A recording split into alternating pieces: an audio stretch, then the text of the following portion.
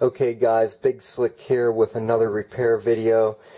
This is a Dell Inspiron desktop computer.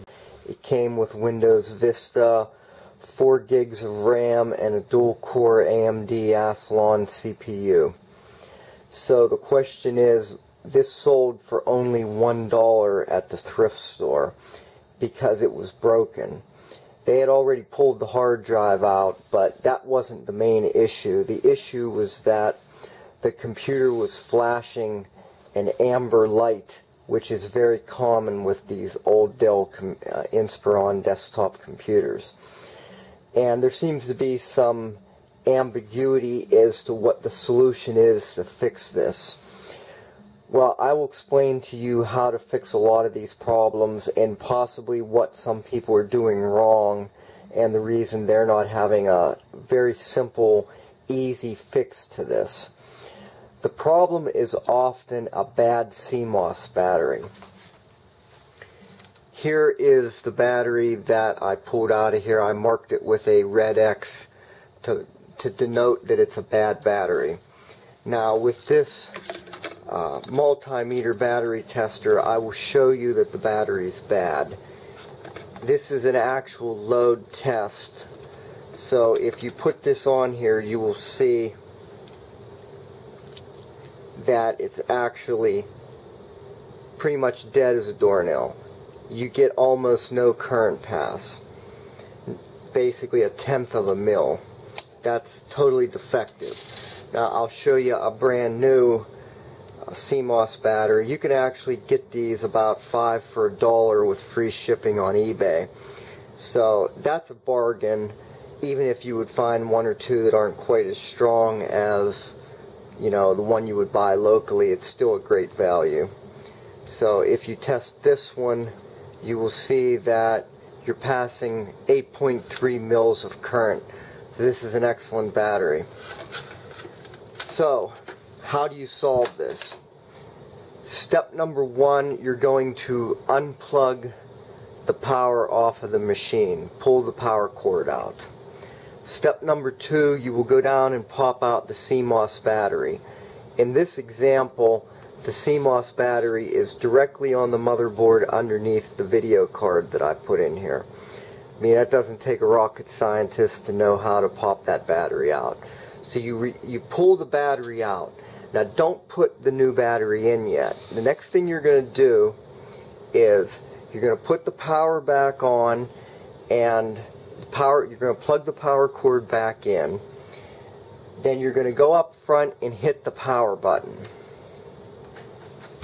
So you'll go up front and the power button is obviously right here. You're going to turn the power on. You will see that nothing will have changed. You will still have the amber light and the machine won't boot up. So nothing will have changed at that point. Now what you're going to do is you get your finger and you hold in on the power button while it's still amber. Then you're going to reach back and you're going to pull out the power cord while you continue to hold this button in. And you're going to continue to hold it in until you see all signs of power on the machine have been removed. In other words, you'll see a light on the motherboard. You'll make sure that that is no longer lit. You'll make sure that the light up front here is no longer lit. So in other words, you're draining power out of the machine. I think this is the mistake that people make. They just put a new CMOS battery in, try it, and find that nothing has changed, that the machine still has the amber light problem that doesn't work. You have to drain the power out of the system. I can tell you that, ironically, even if you put a jumper cable on the battery terminals of the CMOS battery, that still will not solve it. Apparently there's some other place that is storing power and contributing to this problem.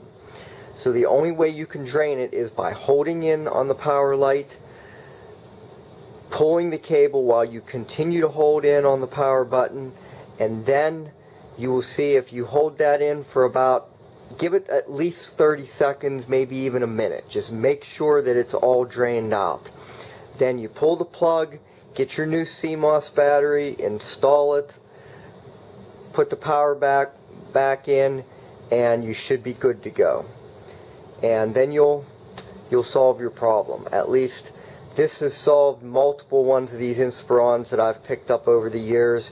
You can find these things almost giveaway now because it's old technology and desktop computers are cheap anyway. But if you need another machine for internet browsing or maybe to play some old games on and you don't you don't want to put them on a, a newer machine because you know they're older maybe games from the XP era you don't really need a new machine to play those games on uh, you know a machine like this can have a lot of value from that standpoint because you don't have much invested in it.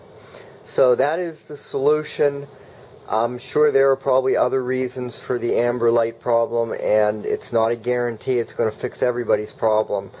But for some reason these machines react uniquely to changing that uh, CMOS battery. Most machines when you pop that CMOS battery out and you give it a little bit of time it'll totally drain out and any errors you were having you can solve them but with this you have to you have to force the power out of this system in order for it to work and I, I don't know if it's a bug in the BIOS or just a, a design issue on the motherboard, but I've solved it on multiple machines like this, and I know some other people have as well.